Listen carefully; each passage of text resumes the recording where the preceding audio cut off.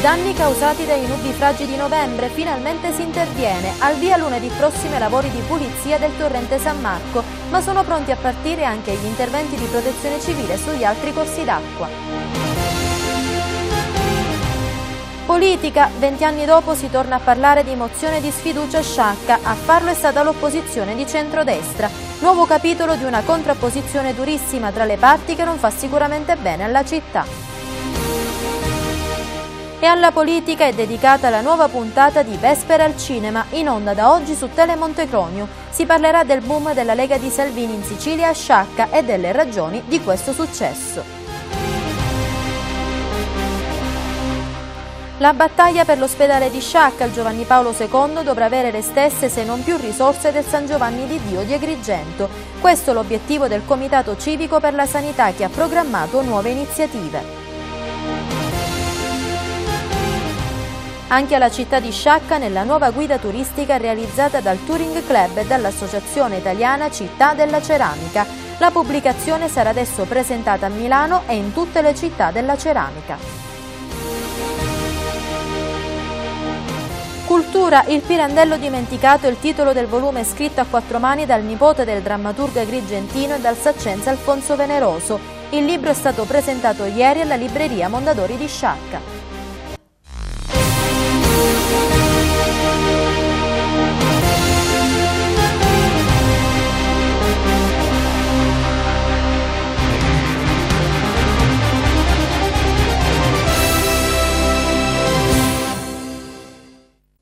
Benvenuti a una nuova edizione di RMK Notizie. Al via la pulizia del torrente San Marco. I lavori progettati dal Genio Civile e finanziati dalla Regione per oltre 200.000 euro prenderanno il via lunedì prossimo e avranno una durata di circa quattro mesi. Ma sono pronti a partire di qui a qualche settimana gli attesi interventi di protezione civile per la messa in sicurezza dei torrenti Bagni, Canzalamone, Bella Pietra e Baiata. Ad annunciarlo al nostro telegiornale è il sindaco Francesca Valenti. Sentiamo. Inizieranno lunedì prossimo i lavori di pulizia del torrente San Marco. Si tratta di un'opera finanziata dalla Regione siciliana per oltre 200.000 euro, il cui progetto e iter amministrativo è stato curato dal Genio Civile di Agrigento. Si cerca di correre ai ripari, insomma, dopo i nubifragi di novembre che hanno provocato notevoli danni al territorio a seguito dello straripamento dei corsi d'acqua. L'opera di pulizia del torrente San Marco, affidata ad un'impresa, avrà la, durata di circa quattro mesi mesi, ma manca davvero poco ormai all'avvio anche degli interventi di pulizia, bonifica e messa in sicurezza degli altri torrenti della città, quelli a suo tempo finanziati dalla Protezione Civile a seguito del nubifragio di novembre 2016. Ad annunciarlo al nostro telegiornale il sindaco Francesca Valenti. Ho sentito l'architetto Micciche che ha iniziato già le attività ha iniziato già il lavoro, è un, un, intervento importante, sicuramente consideriamo quello che è successo gli ultimi eventi alluvionali hanno riguardato moltissimo il torrente San Marco e quindi speriamo che sia quantomeno un modo per fare una giusta e attenta prevenzione. Non è soltanto questo il lavoro che inizierà perché devo dire che tutti quanti i lavori, sia quelli del genio civile che quelli che verranno fatti dalla protezione civile, sono tutti in eh, di arrivo, quindi nel giro di qualche settimana vedranno gli interventi già attivi.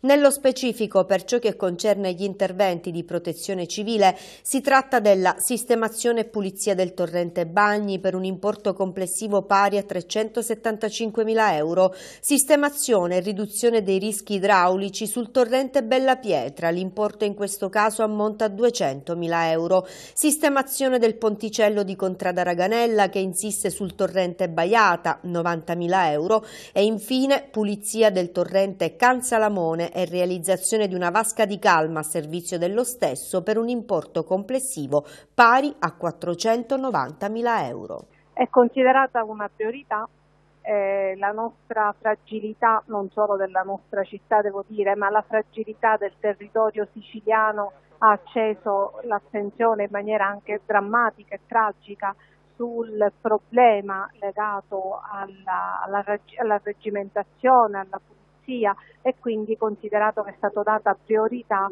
questi interventi verranno fatti veramente nel giro, e inizieranno nel giro di qualche settimana, si spera non di mesi, ma si parla di settimane. Politica, vent'anni dopo si torna a parlare di mozione di sfiducia, a farlo sono stati quelli del centrodestra. È il nuovo capitolo di una contrapposizione politica durissima che vede gli schieramenti darsele di santa ragione, con atteggiamenti diffusi, ancorché non generalizzabili, di superbia, presunzione ed orgoglio che non fanno bene alla città. La nota politica è di Massimo D'Antoni. Tra botte e risposta, repliche e controrepliche e inseguimenti dell'ultima parola di qualcosa che assomigli lontanamente ad un microfono anche spento, il livello della contrapposizione politica sciacca ha forse raggiunto l'apice ovvero la profondità. Entrambi i punti di vista purtroppo sono validi. Niente di nuovo sotto questo cielo, intendiamoci, ma in assenza delle dirette televisive dei consigli comunali, la politica oggi si gioca soprattutto su Facebook, dove i protagonisti della vita pubblica se le suonano di santa ragione, alimentando condivisioni e obiezioni di quel popolo social che non esita a manifestare il proprio punto di vista. Lo scontro degli ultimi mesi non può non indurre a fare delle considerazioni dal nostro modesto osservatorio. Non è immaginabile, tanto per cominciare, ancorché sia entrata in politica solo da un anno e mezzo, che Francesca Valenti non prevedesse che l'azzeramento della sua prima giunta avrebbe generato delle conseguenze politiche di una certa consistenza. Difficile pensare che abbia sottovalutato le inevitabili reazioni ordinate e contrarie, fatto sta che alla platea di avversari naturali, che sono quelli dell'opposizione, adesso si sono aggiunti diversi ex sostenitori. Conseguenza, una consigliera, Carmela Sant'Angelo, è passata all'opposizione, un'altra, Cinzia De Liberto, non l'ha fatto ma sostanzialmente poco cambia, un terzo, Paolo Mandracchia, non lo farà, ma da lui non si possono più pretendere spinte motivazionali particolarmente significative. Sulla base di questo scenario e considerato che in politica a comandare sono i numeri, negare che non ci sia più una maggioranza è un esercizio di stile perfettamente inutile, ancorché l'assottigliamento del gap tra schieramenti determinato dalla riduzione del numero dei consiglieri sia un elemento oggettivo. A fronte di questa situazione il rischio è quello dell'immobilismo ed è deprimente per la collettività apprendere di un quadro politico, quello attuale, che addirittura costringerebbe la coalizione di governo a preferire di non andare in aula pur di evitare la bocciatura del ripianamento del disavanzo del comune è venuta fuori una sorta di apoteosi di un conflitto improntato sulla presunzione reciproca, da un lato quella del sindaco che fatica a piegarsi di fronte all'opposizione a concedere ciò che eppure non sarebbe ignominioso concedere, dall'altro però c'è la presunzione della minoranza, senza generalizzare, quella che pretende che il sindaco sostanzialmente umili se stessa, andando perfino al di là del più avvilente cospargimento del capo di cenere. La verità, ragionevolmente, sta sempre nel mezzo, perché se da un lato il primo cittadino dovrebbe prendere atto di una realtà che ancora una volta sta vedendo il centrosinistra sotto la brutta luce di una coalizione che non riesce a governare, dall'altro lato appare inconcepibile immaginare che la minoranza attenda al varco all'esecutivo, non escludendo eventualmente di bocciare, come temuto da Francesca Valenti, un punto come il risanamento del comune, come se gli esponenti dell'opposizione vivessero su Marte e non in quel comune che chiede di essere risanato. Una realtà che oggi può far dire benissimo che non è possibile, parafrasando lo slogan di Francesca Valenti, pensare ad altri tre anni così. C'è chi paventa la soluzione drastica, il ricorso ad una possibile mozione di sfiducia, cosa che Sciacca ha già sperimentato una ventina d'anni fa, corsi e ricorsi storici, gli stessi che vedono sempre chi vince le elezioni dimenticare subito i festeggiamenti e cominciare a chiedere la luna, in tal senso che non l'ha fatto, scagli la prima pietra, eppure qualcuno la prima pietra potrebbe serenamente scagliarla. Sono quelli di Mizzica, più giovani ma evidentemente anche più saggi, anche dal Movimento 5 Stelle sono pronti a proporsi per governare la città e questo, malgrado va detto, tra i grillini, come tutti sanno, non siano rose e fiori. E andrà in onda oggi sulla nostra emittente l'ottava puntata di Vespera al cinema. Si parlerà del boom della Lega di Salvini in Sicilia e a Sciacca e delle ragioni di questo successo. Vediamo un breve estratto della puntata curata e condotta, come sempre, da Massimo D'Antoni il siciliano eh, che eh, decide di dare il proprio consenso alla Lega, come se lo spiega? Lo spiega? È un retaggio dal punto di vista, oserei dire, antropologico, come se lo spiega? Ma ecco, intanto è un problema di coscienza politica. Eh, I meridionali probabilmente perché tenuti storicamente in una condizione di inferiorità, di subordinazione alla questione meridionale, eh, non è che l'hanno inventata adesso, eh, è da da, da secoli che esiste non è mai stata colmata da nessun partito. Certo, c'è questo messaggio securitario. Eh, io, eh, è stato detto tante volte, alimento la paura, cavalco la paura, faccio della paura eh, la ragione del consenso. Il tema dell'immigrazione non è il tema di Salvini, è il tema di un'intera nazione che negli anni non ha visto quelle adeguate ris risposte che comunque la cittadinanza si aspettava. Il vero problema della Lega di Salvini è se ricalcheranno quelle, uomo, quelle orme del partito uomo, del partito uomo immagine, che negli ultimi 30-40 anni... Questi che mettono abbiamo, il, nome, il, nome, sul simbolo, eh, insomma, che, che lo fanno tutti. Avuto, e quindi anche loro in questo avrebbero una loro grande debolezza. Lega Salvini è marketing, mm. eh, riesce nell'impresa geniale di trasformare i like in voti, eh, crea un prodotto, crea un bisogno. La Lega Nord era Bossi, ma se noi andiamo al passato tutta questa personificazione con Bossi non c'era, c'era semmai la personificazione, eh, ovvero l'associazione con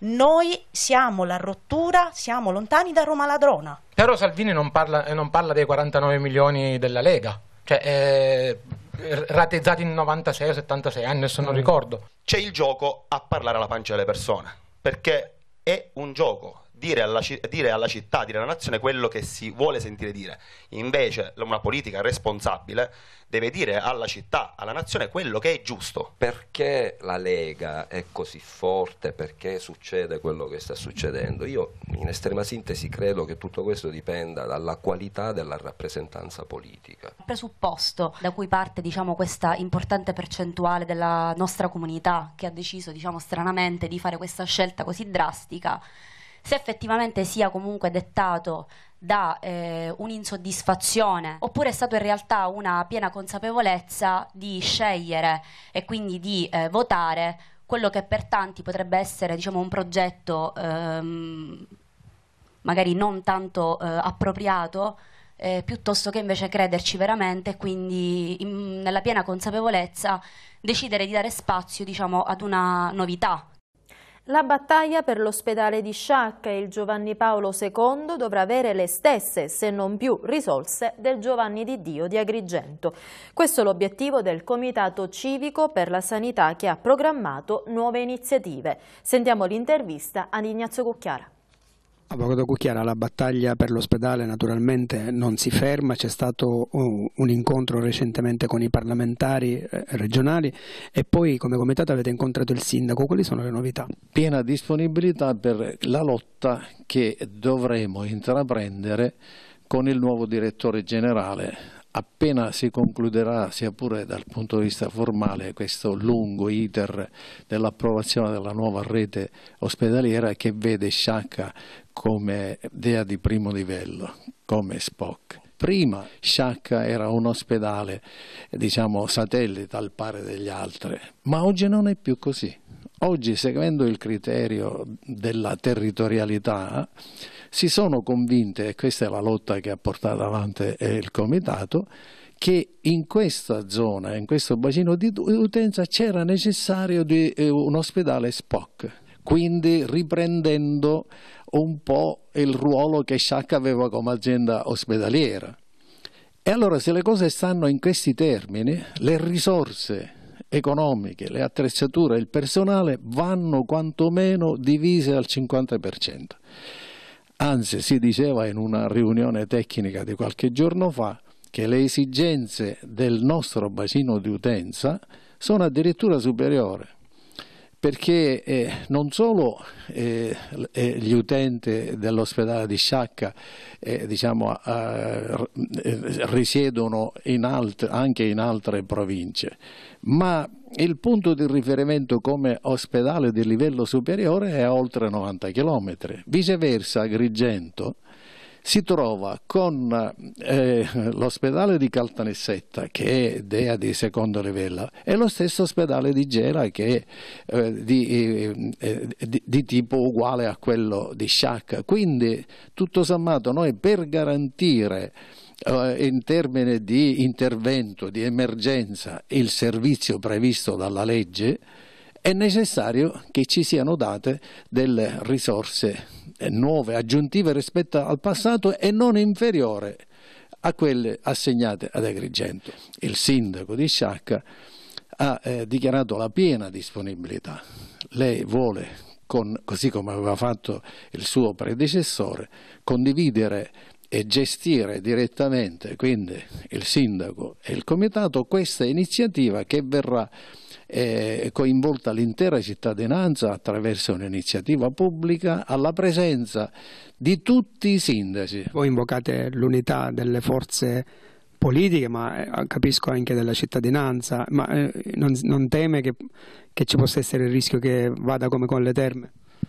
Eh, questo è, la partita si gioca proprio in questi termini. Se noi non riusciamo a capire che erediteremo di questa città le ceneri, perché questo è il passaggio, è uno spettacolo per cui noi ci, ci facciamo la domanda perché il populismo? Per questo, cioè una classe politica, chiamiamola così, incapace di, di confrontarsi su, sul piano degli interessi della città. Chi fa politica deve avere amore per la città. Lei immagina che sulla falsariga del Comitato Civico Sanità possa risorgere perché c'era un comitato a difesa delle terme, possa rinascere? Ma io penso di sì, perché questa è, è, è, la cosa più, quando io sento parlare delle terme di Montevago mi inorgoglisco, perché è una realtà bellissima accanto. Ma le nostre terme, dove sono andate a finire? Io potrei dire, io sono il sindaco al quale eh, non è eh, riuscito il tentativo e quindi ecco guardare dall'alto e ridere, ci guarda un po', e invece non è così. Bisogna mettere, accantonare le, le ragioni più o meno eh, buone che ognuno di noi può accampare e guardare per il bene della città. Certo che eh, le terme, se c'è un'azione forte la regione non potrà scherzare più. Trivellazioni petrolifere, la situazione nel canale di Sicilia sta diventando sempre più allarmante. Parte del sito del ministro economico è oscurato e non ci permette di raccogliere informazioni per tutelarci, denuncia Mario Di Giovanna, attivista del comitato Stoppa la piattaforma. In un solo giorno ieri il governo ha dato il via libera a ben 18 permessi di ricerca. Chiediamo una commissione d'inchiesta che indaghi sulle autorizzazioni palesemente irregolari che abbiamo scoperto aperto negli ultimi anni, conclude Di Giovanna. Sentiamo. Mario Di Giovanna, per quanto riguarda le trivellazioni petrolifere in mare, sembrano esserci novità non proprio positive. Eh, sì, come comitato eh, noi monitoriamo quasi mensilmente mm, vari bollettini, uffici, ministeri e quant'altro e proprio nella giornata di ieri abbiamo avuto una amarissima uh, sorpresa. Il Ministero dell'Ambiente ha rilasciato in una sola giornata, il 10 di dicembre, la bellezza di 18 provvedimenti di ottemperanza per altrettante concessioni di coltivazione o permessi interessi di ricerca eh, petroliferi. Da quasi un decennio di attivismo e di questo lavoro di monitoraggio che, che facciamo, non avevamo mai visto una cosa del genere, cioè così tanti provvedimenti, tutti rilasciati in un, in un giorno. Se a questo aggiungiamo il fatto che abbiamo grossissime difficoltà a verificare e a capire che cosa sta succedendo nel nostro mare perché è da più di un mese che il sito del Ministero dello Sviluppo Economico, eh, nella sezione in cui noi andavamo a guardare questi permessi, come erano fatti, come erano rilasciati, se andavano avanti, è stata oscurata dal, dal sito del, del, Ministero dello Sviluppo Economico e nonostante le nostre ripetute richieste ancora non è stata rimessa, eh, rimesso online, eh, sì, eh, dire che siamo preoccupati è dire veramente poco per quello che è possibile sapere per quanto riguarda l'Audax Energy e le intenzioni di trivellare tra Sciacca e Pandelleria, ci sono aggiornamenti? In realtà mh, mm, no, eh, a parte le interrogazioni parlamentari che sono state prontamente eh, presentate dalla senatrice De Petris, gruppo misto, e dall'onorevole Michele Catanzaro eh, all'ARS, eh, no, non abbiamo avuto altre, altre, novità. Sappiamo che c'è questa società che dice di avere eh, degli, eh, degli, accordi con il, mm, con il, governo italiano, con il Ministero dello Sviluppo Economico per poter andare a, a, a andare avanti col suo permesso di ricerca. Noi che non possiamo verificare verificare perché, ripeto, è da più di un mese che il, il sito del Ministero dello Sviluppo Economico è oscurato, quindi le verifiche che facevamo eh, quasi giornalmente e, e, puntualmente non le possiamo andare a fare, quindi non, non sappiamo se è, è vero questo accordo, non è vero questo accordo, se la cosa sta andando avanti, se hanno delle autorizzazioni, non sappiamo assolutamente nulla. E quando mh, si ha difficoltà ad avere e recepire informazioni chiaramente la preoccupazione sale e sale di parecchio. Parlate con i comitati, fate intanto una riunione e chiedeteci qual è lo stato reale delle cose e chiedeteci cosa c'è da fare per andare a risolvere. Intanto la prima cosa, rimesso online il sito del Ministero dello Sviluppo Economico il secondo punto, un decreto legge d'urgenza che eh, blocchi il rilascio di nuove eh, istanze eh, eh permessi a eh, trivellare, permessi di, eh, di, ricerca. Questo per un periodo limitato di tempo, tre mesi, sei mesi, un anno, il tempo che servirà al Parlamento a fare una nuova legge sul, sulle trivellazioni petrolifere che non sia totalmente dei petrolieri, ma sia finalmente una legge equilibrata e che tuteli eh, la nostra economia e il, eh, il nostro ambiente. La eh, terza richiesta è una commissione d'inchiesta, perché abbiamo dimostrato negli anni attraverso le nostre denunce, attraverso le inchieste, attraverso tutto, che tutta una serie di permessi di ricerca e coltivazione che sono stati rilasciati hanno delle evidenti, mostruose irregolarità. Noi vogliamo sapere perché ci sono state queste irregolarità, quindi se c'è qualche mela marcia all'interno dei ministeri vogliamo che queste vengano oh, eh, prese e denunciate alle autorità eh, eh costi- eh, costituite e se alcuni permessi sono stati, come crediamo noi, effettivamente rilasciati con eh, irregolarità, noi vogliamo che vengano ritirati. C'è anche la città di Sciacca nella nuova guida turistica realizzata dal Touring Club e dall'Associazione Italiana Città della Ceramica, in cui vicepresidente è sindaco Francesca Valenti. La pubblicazione sarà adesso presentata a Milano in tutte le città che vantano una tradizione della ceramica e quindi prossimamente anche a Sciacca. Per il sindaco Valenti si tratta di una grande opportunità di promozione della città e di sostegno all'arte ceramica saccense. Ne parliamo in questo servizio di Noemi Tumiolo. Una ceramica di splendidi colori che rispecchia la storia viva e ricca della più antica città termale della Sicilia. È così che viene presentata la ceramica di Sciacche, la città inserita nella nuova guida turistica realizzata dal Touring Club e dall'Associazione Italiana Città della Ceramica.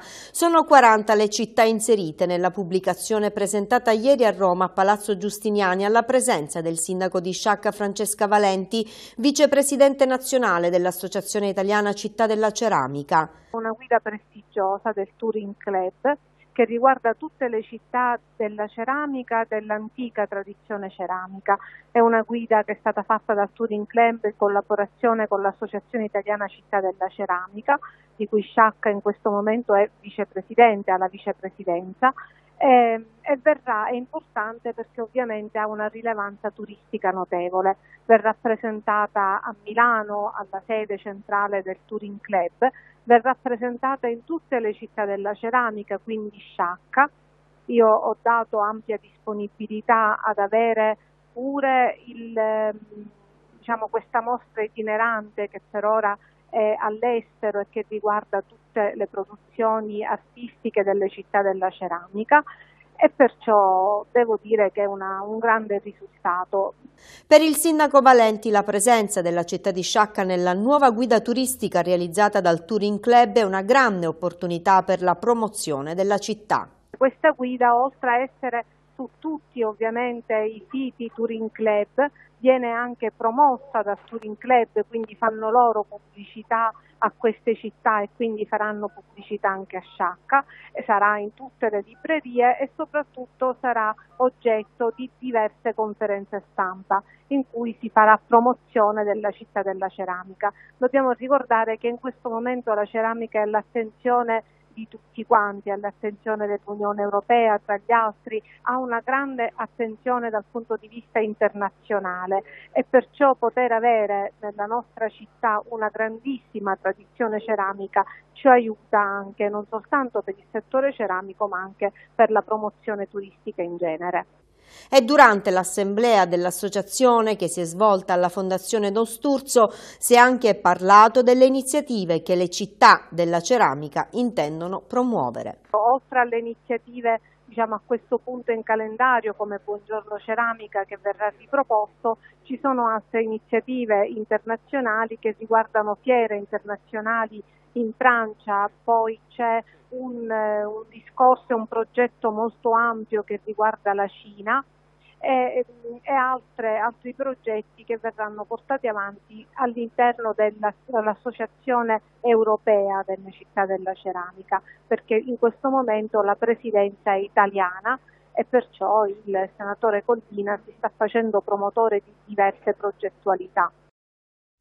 Tornerà a riunirsi il 18 dicembre il Consiglio Comunale di Ribera, diversi punti all'ordine del giorno, la rideterminazione dei compensi al Collegio dei Revisori dei Conti per l'anno 2018 e il sorteggio dei nuovi revisori per il triennio 2018-2021, l'approvazione del progetto di fattibilità per la ristrutturazione del campo di calcio Nino Novara, l'aggiornamento del contributo di costruzione per l'anno 2019, il riconoscimento di alcuni debiti fuori bilancio e le interrogazioni presentate dai consiglieri.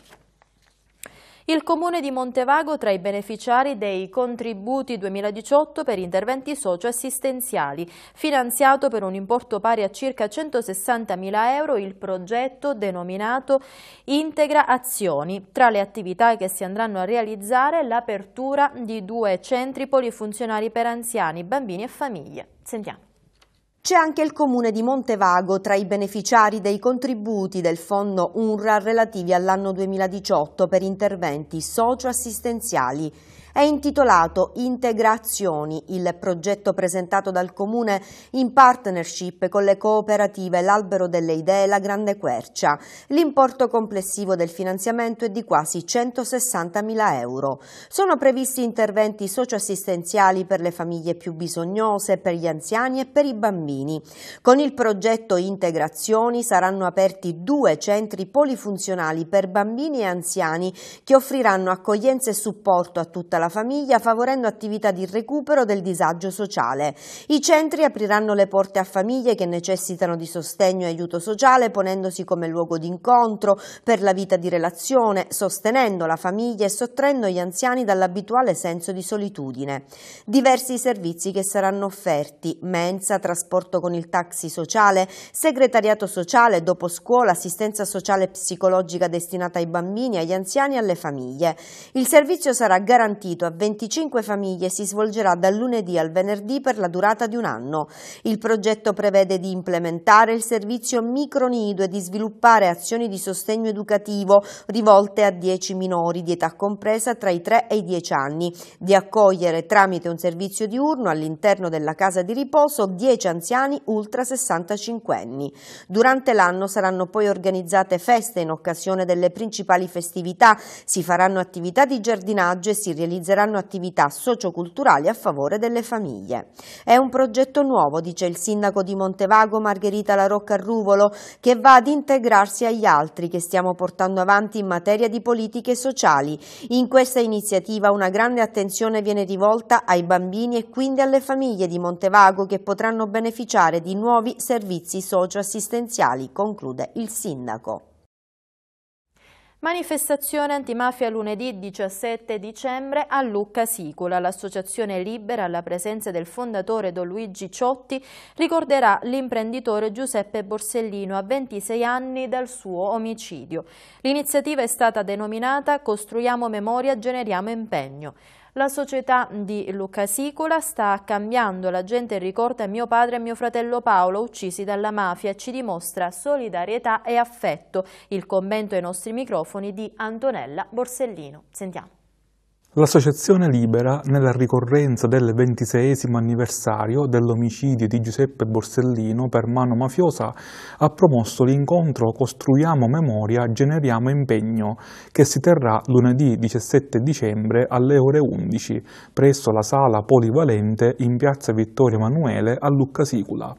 Interverranno Don Luigi Ciotti, fondatore e presidente di Libera, Salvatore Vella, procuratore aggiunto della Repubblica presso il Tribunale di Agrigento, e il giornalista Alan Scifo. Sì, lunedì ricorderemo il ventisesimo anno dell'omicidio di mio padre, è avvenuto a Lucca eh, il pomeriggio del 17 e con Libera ricorderemo questo momento che da quel giorno la nostra vita è cambiata, eh, mia, di mio fratello, di mia mamma, eh, è cambiato tutto e quindi noi con eh, quelle persone oneste di Libera, che, eh, di, scusami, di Lucca Sicola che sicuramente eh, saranno presenti, eh, avremo questo momento eh, di ricordo, un momento che eh, in questo momento è ancora più sofferto. Noi da 26 anni lottiamo contro una burocrazia eh, che si accanisce contro la mia famiglia, non si riesce a capire bene il perché.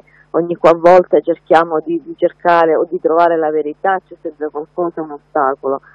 Quindi la nostra battaglia non è mai finita, è un continuo lavorio per noi familiari di sofferenza continua. Noi di una cosa siamo certi, e anche le persone. Io mercoledì sono stata a Lucca e la cosa che mi ha riempito di gioia e felicità ero con la responsabile provinciale di Libera, tutta la gente onesta di Lucca che si avvicinava e diceva noi ricordiamo sempre Peppe Borsellino perché era una persona buona, onesta e un lavoratore. Quindi al di là di quello che la prefettura vuole intendere, perché noi non abbiamo niente di ufficiale, per noi mio padre era ed è, perché è sempre accanto a noi una persona onesta, un grande lavoratore e, e ti dico la cosa più bella è il ricordo di, dei paesani che riaffiora, che lo ricordano. Questo, noi pensavamo che mio padre fosse stato dimenticato, non è vero. Io in questi giorni andando a Lucca per organizzare eh, questo ricordo, lo voglio chiamare ricordo perché non è una manifestazione, eh, abbiamo avuto tanti attestati veramente di, di, di affetto che, non, che pensavamo che non ci fosse, ci siamo ricreduti. Quindi lunedì Don Ciotti sarà accanto a noi, avremo eh, l'amico di sempre Salvatore Vella, eh, avremo Adara Scifo che in quest'ultimo periodo si è molto avvicinato a noi come famiglia libera. Quindi per noi è un momento di ricordo, ricordo di una persona onesta e di un grande lavoratore che ha perduto la vita per il grande amore verso il figlio, verso mio fratello Paolo. Il Pirandello dimenticato è il titolo del volume scritto a quattro mani dal nipote del drammaturgo agrigentino Pierluigi Pirandello, recentemente scomparso, e dal saccense Alfonso Veneroso. Libro ieri presentato alla sala della libreria Mondadori di Sciacca che porta il nome proprio di Pirandello. Vediamo. Un pirandello diverso, quello illustrato nel libro presentato ieri alla libreria Mondadori di Sciacca, nella sala intitolata proprio al premio Nobel agrigentino per la letteratura, uno dei più celebri scrittori e drammaturgi del Novecento. È una testimonianza diretta quella presentata nel Pirandello dimenticato, poiché a parlare dello scrittore Pierluigi Pirandello, nipote del drammaturgo, venuto a mancare pochi mesi fa un libro che aveva scritto assieme ad Alfonso Veneroso, attore saccense, presente ieri all'incontro moderato dalla giornalista Teresa Di Fresco. C'erano anche Filomena Capobianco e Giovanna Carlino, moglie di Pierluigi Pirandello, che ha introdotto il volume. L'ultima presenza di Pierluigi a Sciacca fu in occasione dell'inaugurazione di questa saletta dedicata al nonno Luigi. Proprio in questa circostanza Pierluigi ha conosciuto, come diceva poc'anzi il notaio Raso, l'artista Alfonso Veneroso. Alfonso Veneroso, in veste di intervistatore, ha scritto con Luigi quella che oggi è l'autobiografia di Pierluigi, del padre Fausto e del nonno Luigi. Sentendosi un po' imprigionato dal ruolo di avvocato, Pierluigi temeva di non riuscire a scrivere e aveva bisogno di un ego ausiliario che possibilmente fosse uomo e artista nello stesso tempo, come Alfonso Veneroso, anch'egli avvocato ma anche artista. In fondo mio marito, per via di mia suocera Pompiglia, non riusciva ad esprimere le sue vere passioni. È stato sempre perseguitato da una figura materna minacciosa, invadente, indifferente, se non ostile all'espressione della sua vera personalità. Forse per Pierluigi questo libro ha avuto una funzione catartica che gli ha permesso di liberare, almeno in parte, anche se un po' tardivamente, i suoi intimi sentimenti attraverso il racconto della vita in perfetta corrispondenza con quella del padre. Il libro raccoglie una lunga intervista a Pierluigi, l'ultimo della famiglia ad avere conosciuto il nonno Luigi, al quale la sua nascita fu a lungo taciuta, interpretata ieri da Alfonso Veneroso. Ma come? Non sa nulla? Fausto non le ha scritto dell'incarico che mi ha dato? No, Fausto non mi ha scritto nulla. Che incarico? Ma come? Di andare a vedere suo figlio suo figlio. Che figlio? Ma il figlio di Fausto. Cioè, il figlio di Fausto. Fausto ha un figlio. Ma sì, qui a Parigi con sua madre. Madre? Ma io non so nulla, Fausto non mi ha mai parlato delle sue relazioni amorose a Parigi né altrove, e tantomeno di un figlio che da queste relazioni possa essere nato. Ma, ma lei è pazzo! E adesso la rubrica Il libro del giorno. Nel momento in cui forze politiche oscurantistiche prendono il sopravvento in Italia e in larga parte d'Europa, giova interrogarsi sul moto storico. Il suo andamento può sprofondarci in deprimenti bassure o innalzarci verso affrettate illusioni. Tra il cupo fatalismo, persuaso dell'eterno ritorno, e il pervicace ottimismo degli assertori di inarrestabili sorti progressive, la lezione che ci viene dalla storia è che, dopo l'esaurirsi di una rivoluzione, maturano immancabilmente le condizioni per una nuova scossa, di quelle che a Don Abbondio apparivano salutari colpi di scopa. La scopa di Don Abbondio, di Luciano Canfora, edito La Terza. Cultura, un fine settimana ricco di appuntamenti al Circolo di Cultura di Sciacca. Oggi pomeriggio alle 18.30 alla presenza del sindaco di Gibellina, Salvatore Sutera, sarà inaugurata una mostra sulla cittadina del Belice con l'esposizione delle opere di due artisti, Franco Accursio-Golino e Vito Faraci Urso. Domani invece eh, continua la rassegna culturale Abbondanza con il concerto di My Christmas Soul. Due, dei due appuntamenti ci parla in questa intervista intervista Tony Russo.